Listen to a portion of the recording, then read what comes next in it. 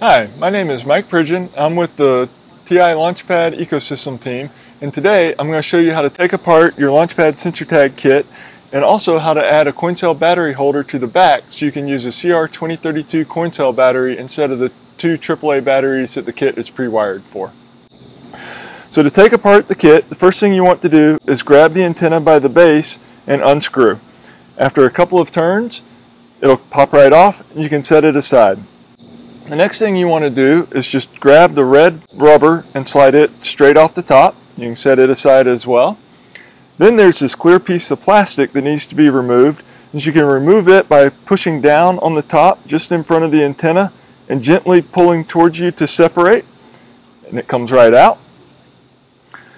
And finally, for the PCB, there's three retaining clips in the black plastic that hold the PCB into place. So you'll need to gently pull away on the top piece of black plastic and at the same time push forwards on the PCB and it pops right out. And then you want to grab the battery connector by the white plastic instead of the wires and gently separate it by pulling down. It comes right out. And so now you have your bare PCB that's ready if you want to add the coin cell battery holder to the back. And you can see the pads for the battery holder are here and the connector for the battery is here.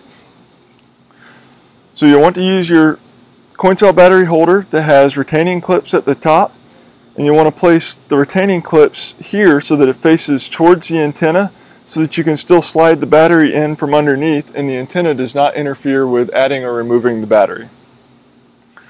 So we'll set this in place on the PCB, grab our soldering iron, and being careful that the metal will heat up because we're applying heat to the, and it's one piece of metal. And so you'll want to Apply heat to the first side, let the solder flow, hold it into place. There we go. And we'll flip the battery, the board around so we can get to the other side. And we're going to apply a little bit of heat and solder to this side.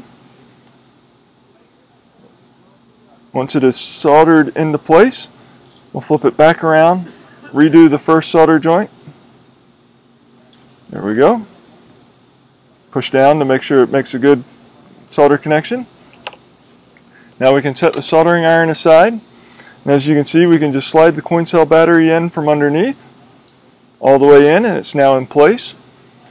And on the front of the board, there's a jumper in the bottom corner that selects between AAA battery with the jumper on the top side and coin cell battery with the jumper on the bottom. So you'll want to move this jumper to the coin cell battery position just by grabbing it and placing it in the other configuration.